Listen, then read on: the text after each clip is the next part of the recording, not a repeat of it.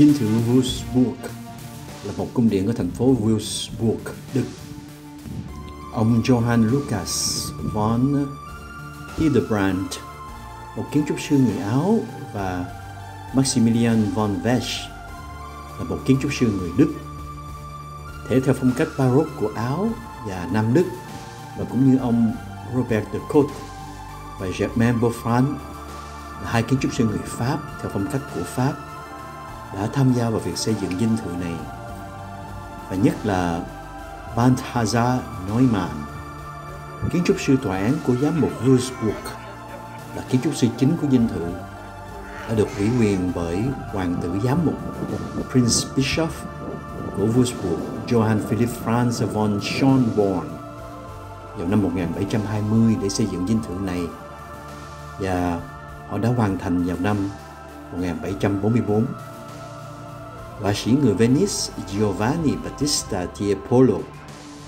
Với sự hỗ trợ của con trai ông Domenico đã vẽ các bức họa trong tòa nhà.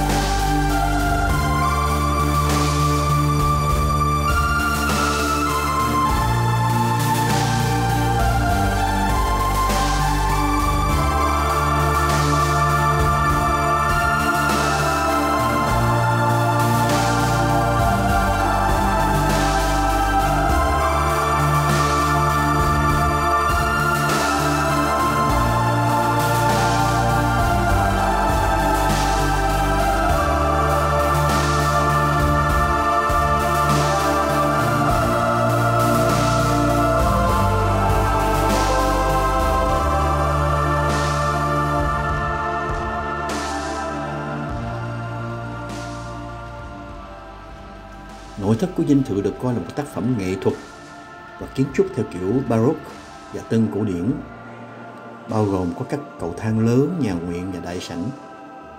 Nhưng dinh thự bị hư hại nặng bởi cuộc ném bom của không quân đồng minh trong Thế chiến thứ hai và việc trùng tu đã được tiến hành kể từ năm 1945. Từ năm 1981, dinh thự đã được UNESCO công nhận là di sản thế giới để công nhận về nghệ thuật, thiết kế và kiến trúc Baroque xuất sắc của dinh thự này.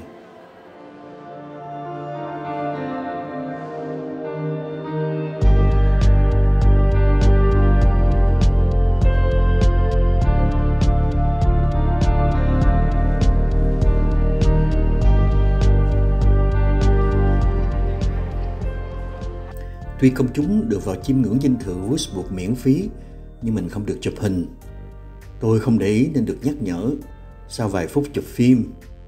Những hình này tôi dùng là của Miriam Thais và Andres Fessler trên Wikipedia.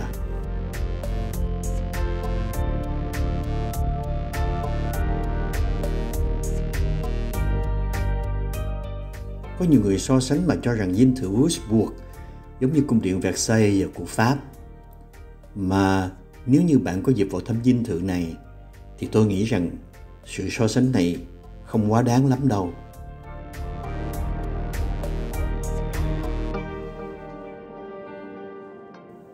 Kết quả của một cuộc không kích tàn khốc vào ngày 16 tháng 3 năm 1945, dinh thự gần như bị thiêu rụi hoàn toàn và chỉ có tòa nhà trung tâm được sống sót, nhưng mái nhà đã bị phá hủy.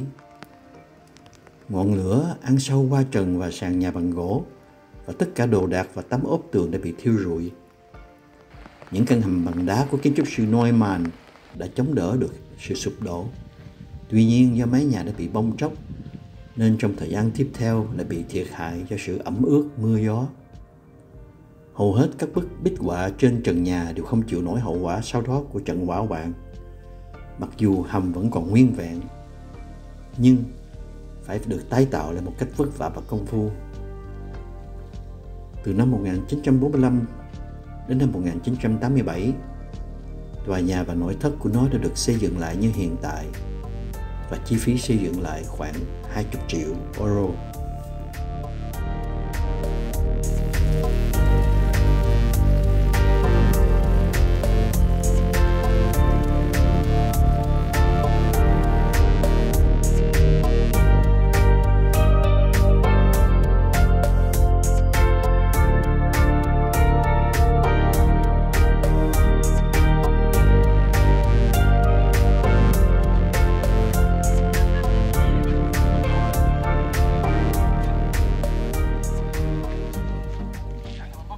Gần dinh thự Hofgarten được thiết kế theo phong cách của Baroque rất trang trọng. Xa hơn, phong cách thay đổi thành một khu vườn kiểu Anh với những khu rừng nhỏ và đồng cỏ. Các khu vườn và các phòng trong dinh thự được mở cửa cho công chúng miễn phí và có một phòng tưởng niệm được dành riêng cho sự phá hủy của dinh thự vào tháng 3 năm 1945. Phòng này cũng tôn vinh thiếu tá John Davis Skilton của quân đội Hoa Kỳ, người đã có công bảo tồn nhiều kho tàng nghệ thuật của dinh thự sau khi ông đến Würzburg vào tháng 6 năm 1945. Phần còn lại của dinh thự sau này là do bảo tàng Martin von Wagner và các tổ chức của Đại học Würzburg duy trì.